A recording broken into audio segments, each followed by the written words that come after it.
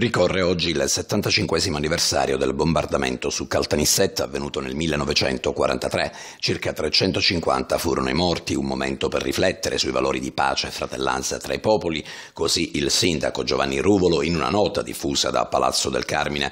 Durante il pesante bombardamento iniziato la notte del 9 luglio 43, si legge nello stesso documento, vennero colpiti anche numerosi edifici pubblici, tra cui il comune di Caltanissetta, il Teatro Margherita, l'ospedale.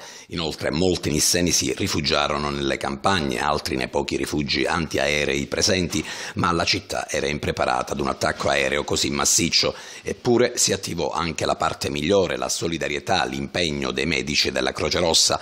Anche allora Caltanissetta seppe ripartire dopo la tragedia vissuta.